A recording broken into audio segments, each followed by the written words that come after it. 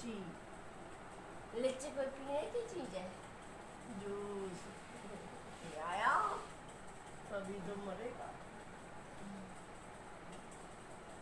बाल मत खींच मत खींच। मेरी मर्ज़ी।